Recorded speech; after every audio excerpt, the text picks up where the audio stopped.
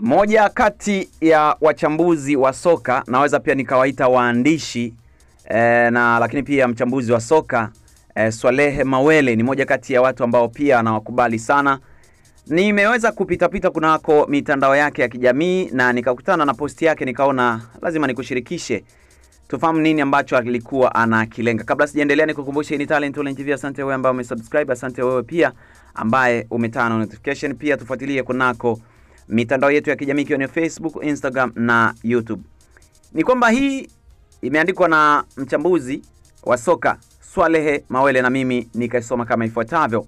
Ni kwamba Simba ina John Boko, Chris Mugalu na Med Kagere ambao wote wakiwa kwenye form wanaweza kukupa zaidi ya magoli 15 kwenye ligi. Wote ni wafungaji wazuri, ingawa kila mtu ana ubora wake na udhaifu wake katika baadhi ya mbinu. Niliwahi kuwaeleza wote katika posti zangu zilizopita. Unamwona Medi Kagere hivi sasa tayari ameshinda, ameishinda imani ya Pablo Franco katika kipindi ambacho Chris alisumbuliwa na majeraha na John Boko anaendelea kujitafuta. Tofauti aa, kujitafuta tofauti iko hapa ya baadhi ya wachezaji wa Kitanzania na wale wanaotoka nje kivipi? Wazawa wengi wanataka wapewe nafasi kama zawadi, na hata wanapopata baada ya mchezaji fulani kutokuwepo ndani ya kikosi, haonyeshi kama yeye anastahili kuanza mbele ya yule anayeaminiwa kila siku. Kama wata, watamtazama Medi anachokifanya hivi sasa, watajua tofauti iko wapi.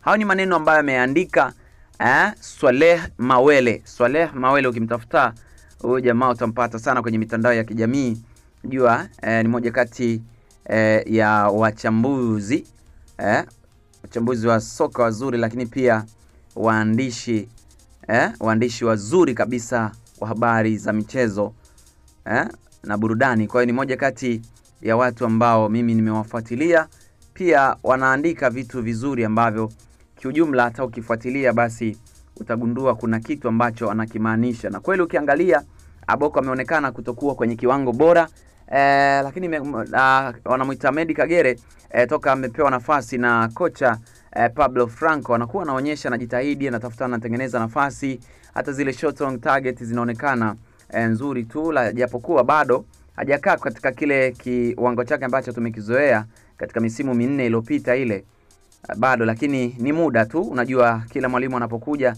anakuja na mbinu zake na mambo yanakuwa mapya. Kwa hiyo mpaka mchezaji akae kwenye ile form, mambo yanahitajika na anahitajika anahitaji muda, niweze niseme hivyo. Ndio, hii ni Talent Online TV. Asante wewe ambao umekaa na sisi. Mimi niseme sina la ziada, ila tufuatilie kunako mitandao yetu ya kijamii ikiwa ni Facebook, Instagram, lakini pia YouTube tukiwa tunasomeka kwa jina moja tu ambalo ni Talent Online TV kwa update za michezo na burudani masaa 24 eh, siku saba za wiki. Sina la ziada kwa wasaa huu, mimi naomba ni niseme asante na tukutane tena kunako wasaa mwingine. Bye bye.